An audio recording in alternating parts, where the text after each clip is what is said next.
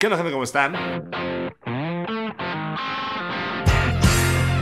Tengo que sacarme algo de este bonito pecho lampiño que tengo. Y díganme si esta corazonada es incorrecta. En Halloween de este año, el disfraz más choteado para las mujeres va a ser Harley Quinn. Y quiero que intenten corregirme en este momento. Y no, para los hombres no va a ser el Guasón o The Joker, porque pues, últimamente han estado muy pinches gringos con Jared Leto. Porque significaría que tendrían que andar sin playera todo el tiempo, tal como si fueran un Yayo Gutiérrez. Pero cómo les mamaría pintarse el cabello y tener su pinche grill, su pinche parrilla esta, ¿cómo se le llama la pendeja a los dientes? Güey, se me olvidó. Esa puta madre. Pero no, no todos tienen el maravilloso cuerpo de Jared Leto. ¿Qué creen que acaso para las mujeres va a ser Katniss Everdeen? No, porque ese sale muy caro. Y para ser Harley Quinn nada más necesitan pinches harapos. Pueden tener esos pinches trapos todos hechos mierda, tal cual como, no sé, Gloria Trevi. Pero no, tampoco va a ser uno de los disfraces más pinches choteados de este año. Va a ser Harley Quinn. No, en serio, si de por sí ya empezaron a salir todos los pinches tutoriales. Y saben qué es lo peor, que seguramente buscando en Happen me voy a topar con un chingo de morras que están vestidas exactamente igual, bueno, disfrazadas. Y voy a terminar cayendo con una de estas chicas.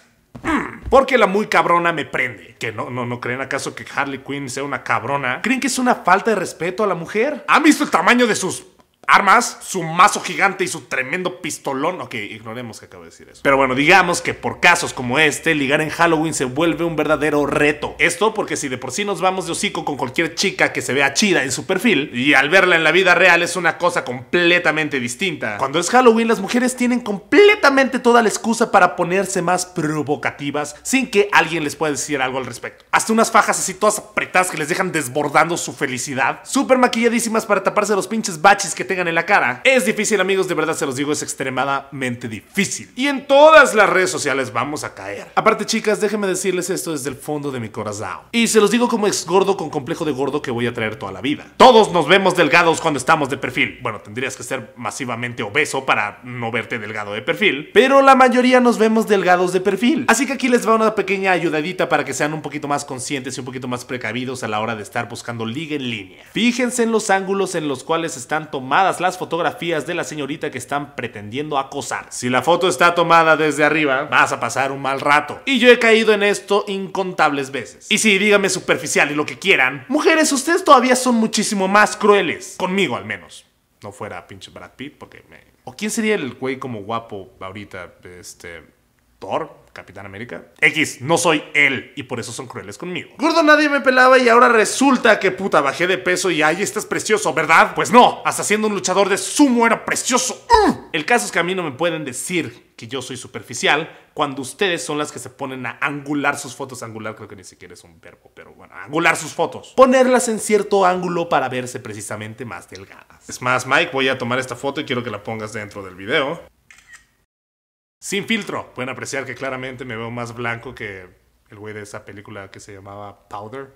Eh, son películas de culto, por favor no intenten entender la referencia. Ni siquiera es de culto, no sé qué chingo estoy hablando. De arriba hacia abajo se ven más delgaditas. Pero también hay mujeres que están buscando exactamente lo contrario. De verse extremadamente delgadas a verse con un poquito más de carnita. Cuando se hace de abajo para arriba es porque quieres ponerte en una posición en la cual quieres que se te vea un poquito más como la cadera, la piernita, la nalguita. Pero bueno, esto es completamente válido porque los hombres también lo hacemos y pues digamos que yo elijo ángulos para verme mucho más mamado. Cuando en realidad estoy todo guango y raquítico. Siguiente, tengan cuidado cuando la piel se vea extremadamente lisa Simpson. O sea, no amarilla, porque seguramente eso quiere decir que tienen como hepatitis. Sino que era, un chiste. Lisa. Lisa de maquillaje como si fuera Donita Bimbo recién espolvoreada. Porque eso quiere decir que probablemente esa persona sea de la familia de Freddy Krueger. Uh, ando medio filoso el día de hoy con todas las referencias halloweenescas. O sea, de Día de Brujas. Yo sé perfectamente que el güey de Halloween es Michael Myers, carajo. El caso es que cuando tengan demasiado maquillaje en el rostro, sin importar que sea Halloween, claramente quiere decir que esa persona haya pasado un rallador de queso por su cara. ¿Por qué harías eso? No tengo ni la más mínima idea. Pero quiere decir que tienen algo que ocultar. Como baches en su cara, que es lo mismo que hacen en su ciudad, ¿saben? O sea, como rellenar los baches, más no repararlos. Si su cabello se ve extremadamente lacio con unos chinos hermosos al final, aléjate inmediatamente. Eso quiere decir que tiene unas extensiones más cabronas que Rapunzel. Falsa y mentirosa. Si tiene el iris del ojito un poquito más grande que el de una caricatura, retírate inmediatamente. Porque aparte de ser otaku, claramente está utilizando pupilentes y ustedes saben cómo me pongo yo cuando veo a alguien con pupilentes. Les meo el ojo. Ah, si alguien de los comentarios eh, pregunta acerca de cómo me pongo